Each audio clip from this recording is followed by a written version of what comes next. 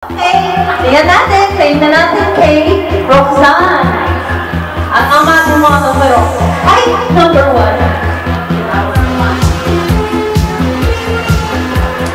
Okay, thank you. Kung sino man to,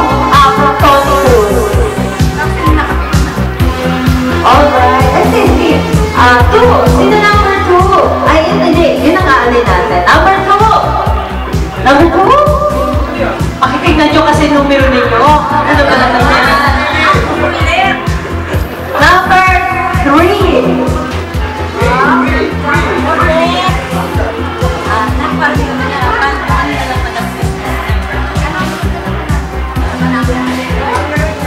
Number four.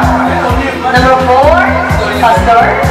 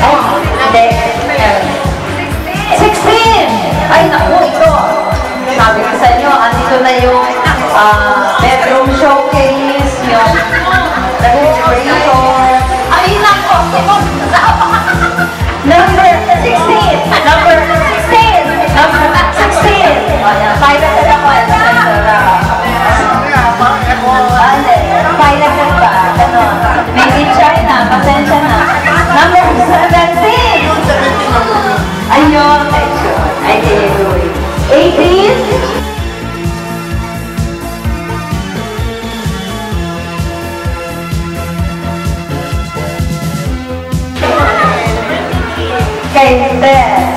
24. Take test ulit. Ano talaga susunod? And 25. Aida. Ayan. From any Pulido. Okay. You can open your hand.